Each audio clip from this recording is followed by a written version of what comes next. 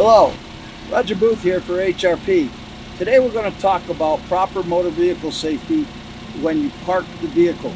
The training we will be covering today is related to motor vehicle safety for those that do transportation. This is not training for those that may drive big box trucks or drive tractor trailer trucks or flatbeds that may be loaded with a forklift, a construction lull, or hoisting equipment.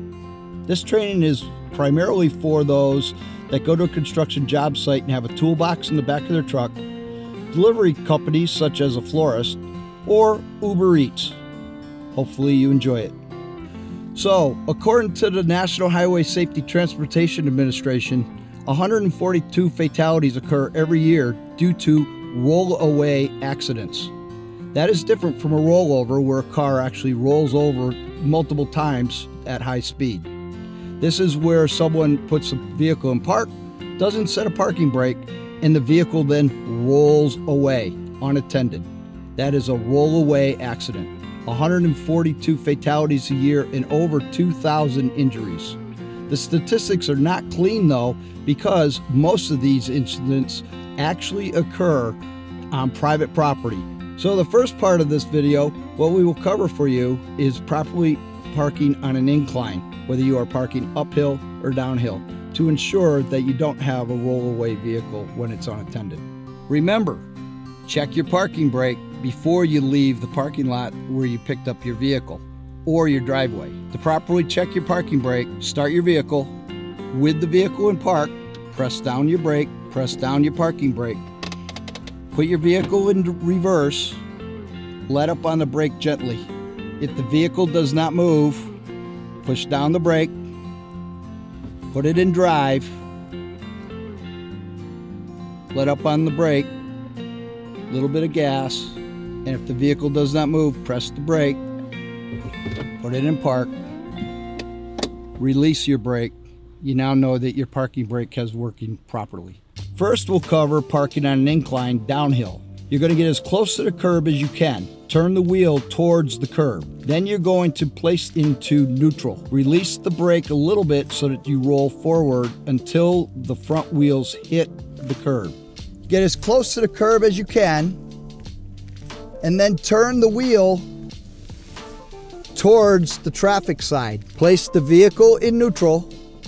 Allow it to roll backwards until you hit the curb. Once you hit the curb, leave the steering wheel in position. If there is no curb on the road or where you are parking, you just turn the wheels towards the land, not towards the road or other traffic. Then you're going to place the vehicle in park, put the parking brake on, shut off the ignition, remove the key, let up on the brake, and then exit the vehicle. Now that you have properly parked your vehicle, we're going to show you how to put the blocks and chocks behind your wheels and the safety cones out so that other vehicles do not hit you or your vehicle. First is making sure you have the right blocks or chocks. In this case, this is a small pickup truck, so you do not need the fancy big rubber ones you see on tractor trailer trucks. These are made specifically for any wheel size 20 inches or smaller. This truck has 17 inch tires, so these blocks are sufficient for this vehicle. Because we are on an incline, parking uphill, you would replace one on each back wheel. to ensure the vehicle does not roll backwards. If you are on incline going downhill, place your blocks and chocks on the rear wheels on the downward side of the tires so that the vehicle does not go forward. If you are on a flat, you actually need to put both on the same tire, one in the front and one in the back of one of the rear wheels. Now you're ready to place your safety cones to make sure people know that you are parked in a place that they may not be aware of you being there.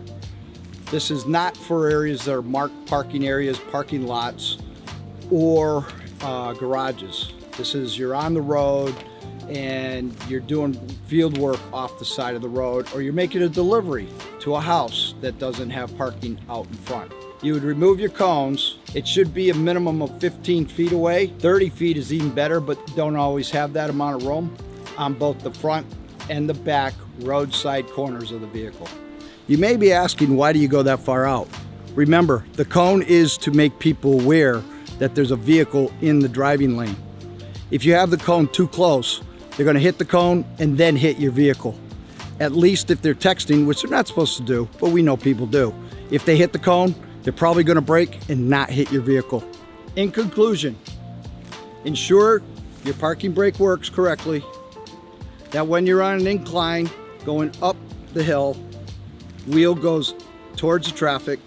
If you're on an incline pointed down the hill, your wheel gets turned towards the curb and place your safety cones and your blocks. Don't rely on anyone else. It ultimately is your responsibility to protect yourself and those around you. Don't be a statistic, please. Thank you.